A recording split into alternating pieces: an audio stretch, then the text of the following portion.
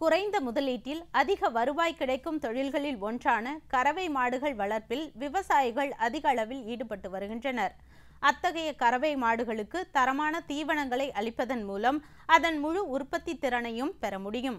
மேலும் பால் உற்பத்தியை பெருக்க நவீன தீவன மேலாண்மை முறைகளை பின்பற்றுவது அவசியமாகும்.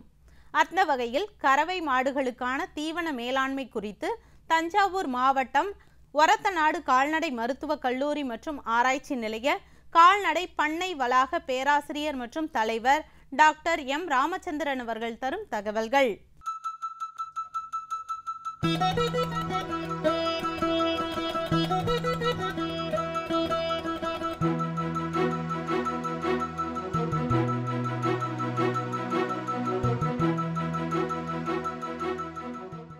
கால்நடை வளர்ப்பு என்பது விவசாயிகளின் உபத்தொழிலாக பழங்காலமாக இருந்து வருகிறது. அதிலும் கறவை மாடு வளர்ப்பு என்பது விவசாயிகளின் பொருளாதார முன்னேற்றத்தில் ஒரு முக்கிய பங்கு வகிக்கிறது.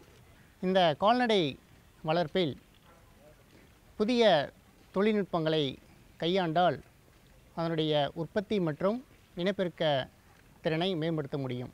கறவை மாடுகளின் பராமரிப்பில் தீவன பராமரிப்பு என்பது எழுபது சதவிகிதம் உள்ளடக்கியது. எனவே கால்நடைகளில் தீவன பராமரிப்பு என்பது ஒரு முக்கிய பங்கு வகிக்கிறது. கால்நடை தீவன ஆதாரங்களை எடுத்துக்கிட்டோமா? நார் தீவனங்கள் அட தீவனங்கள் என்று இரண்டு வகைகள் உண்டு.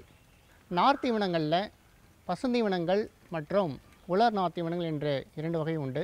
இந்த பசுந்தீவனங்கள் கால்நடைகளுக்கு ஊட்டச்சத்து மிகுந்த ஒரு தீவனமாகவும் நார்ச்சத்து மற்றும் தாதுப்புக்கள் வைட்டமின்கள் நிறைந்த ஒரு தீவன ஆதாரமாகவும் விளங்குகிறது. இந்த பசுந்தீவனங்களில் இரண்டு வகைகள் உண்டு. ஒன்று பயிர் வகை பசுந்தீவனம். மற்றொன்று பயிர் வகை அல்லாத பசுந்தீவனம். வேலி மசால் குதிரை மசால் முயல் மசால் மற்றும் காராமணி போன்றவை பயிர் வகை பசுந்தீவனங்களாகும். இந்த பயிர் வகை பசுந்தீவனங்களில் புரதச்சத்து மற்றும் விட்டமின்கள் தாதுப்புக்கள் ஆகியவை அதிகமாக இருக்கும். இந்த பயிர் வகை பசுந்தீவனங்களை கால்நடைகளுக்கு கொடுக்கும் பொழுது அடத்தீவனத்தின் அளவை குறைத்து கொள்ளலாம். அடுத்ததாக பயிர் வகை அல்லாத பசுந்தீவனங்களை பற்றி பார்க்கலாம். கம்பு நேப்பியர் ஒட்டுப்புல் வகைகளான கோ நான்கு கோ ஐந்து கினியா புல் புல் வகைகளான மக்காச்சோளம் சோளம் கம்பு போன்றவை இந்த வகைகளைச் சேர்ந்தவை. இந்த பசுந்தீவனங்களில் புரதச்சத்து குறைவாகத்தான் இருக்கும். அது மட்டுமல்லாமல் எரிசக்தி மற்றும் இதர ஊட்டச்சத்துக்கள் அதிகமாக இருக்கும். இந்த புல்வகை பசுந்தீவனங்களை மழைக்காலங்களில் அதிகமாக கிடைக்கும் பொழுது ஊறுகாய் புல்லாக சேமித்து வைத்தால் கோடை காலங்கள் மற்றும் தீவன பற்றாக்குறை காலங்களில் கால்நடைகளுக்கு சுயமிக்க பசுந்தீவனமாக அளித்து உற்பத்தி குறையாமல் பார்த்து கொள்ளலாம். அடுத்ததாக உலர்ந்த நார் தீவனங்கள் விவசாய கழிவுப் பொருட்களான வைக்கோல் சோளத்தட்டு கோதுமை புல் மற்றும் ராகி புல் போன்றவை இந்த வகையைச் சார்ந்தவை. இந்த வகையான நார் தீவனங்களில் நார்ச்சத்து அதிகமாக இருக்கும். இந்த நார் தீவனங்களில் உள்ள ஊட்டச்சத்துக்களின் செரிமான திறனை அதிகப்படுத்துவதற்கு யூரியா சோடியம் ஹைட்ராக்சைடு மற்றும் பொட்டாசியம் ஹைட்ராக்சைடு போன்ற வேதிப்பொருட்களை பயன்படுத்தலாம். இதுவரைக்கும் நார் தீவனங்கள் பற்றி பார்த்தோம். அடுத்ததாக அடர் தீவனங்கள்னால் என்ன? அது எவ்வாறு கால்நடைகளுக்கு பயன்படுத்துவது அப்படிங்கிறத பற்றி பார்க்கலாம். அதிகமாக பால் கறக்கக்கூடிய கலப்பின கறவை மாடுகளுக்கு கலப்பு தீவனம் அளிப்பது மிகவும் முக்கியமானதாகும். தானியங்களான மக்காச்சோளம் கம்பு சோளம் புண்ணாக்கு வகைகளான கடலை புண்ணாக்கு சோயா புண்ணாக்கு எள்ளு புண்ணாக்கு மற்றும் தேங்காய் புண்ணாக்கு போன்றவைகளையும் தவிடு மற்றும் தாது உப்பு ஆய்வுகளை ஒரு குறிப்பிட்ட சதவிகிதத்தில் கலந்து தயாரிக்கப்படுவதுதான் அடர்த்தீவனம். இந்த அடர்த்தீவனத்தில் நார்த்தீவனங்களை ஒப்பிடும்பொழுது ஊட்டச்சத்துக்களின் அளவு அதிகமாக இருக்கும். அது மட்டுமல்லாமல் ஊட்டச்சத்துக்களின் செரிமான திறனும் அதிகமாக இருக்கும்.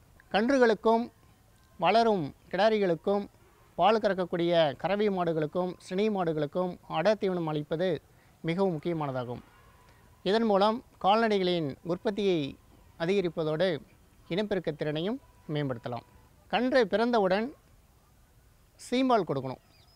சீம்பாலில் வந்து நோய் எதிர்ப்பு திறன் கொடுக்கக்கூடிய எதிர்ப்புரதம் அதிகமாக இருக்கும். கன்று பிறந்த இரண்டு மணி நேரத்திற்குள் கன்று எவ்வளவு சீம்பால் குடிக்கிறதோ அந்த அளவுக்கு கொடுக்க வேண்டும்.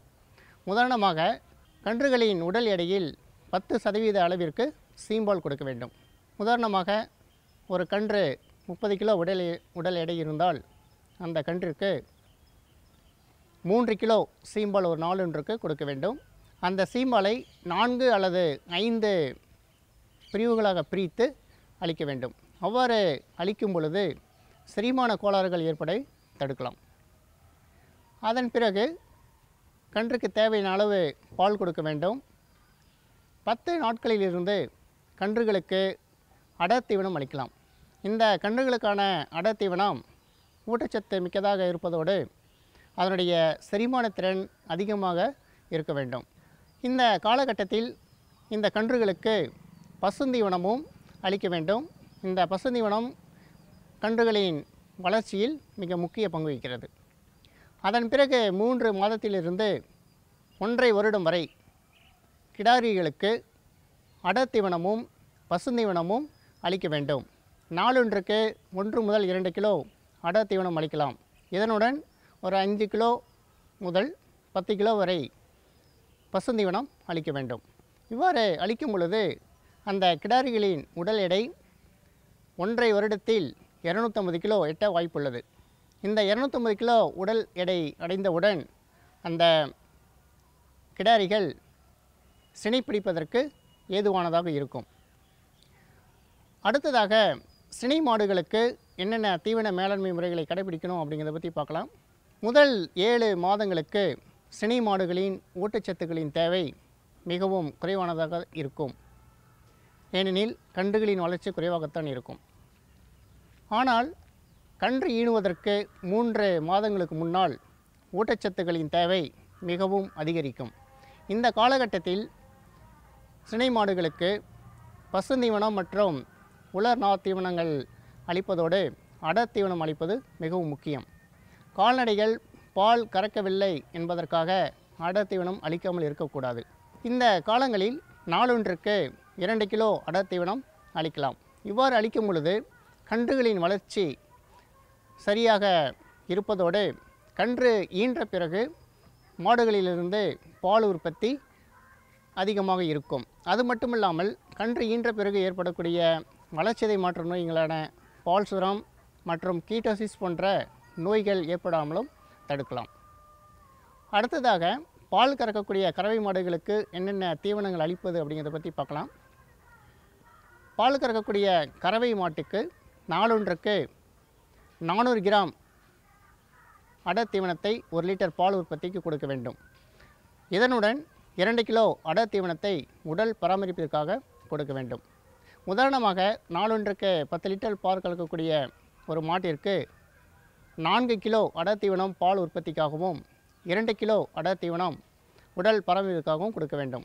இதோட தாது உப்பு கலவையும் நாளொன்றுக்கு ஒரு ஐம்பது முதல் எழுபத்தைந்து கிராம் கொடுக்கும் பொழுது பால் உற்பத்தி அதிகரிப்பதோடு இனப்பெருக்க திறனும் அதிகரிக்கும். கறவை மாடுகளுக்கு அடர் தீவனத்துடன் நாளொன்றுக்கு ஒரு பதினஞ்சு முதல் இருபது கிலோ தரமான சத்து மிகுந்த பசுந்தீவனம் அளிக்க வேண்டும். பசுந்தீவனங்களோடு ஒரு நான்கு முதல் ஐந்து கிலோ வைக்கோலும் அளிக்கும் பொழுது செரிமான திறன் அதிகரிப்பதோடு பாலில் கொழுப்பு சக்தி குறையாமல் இருக்கும்.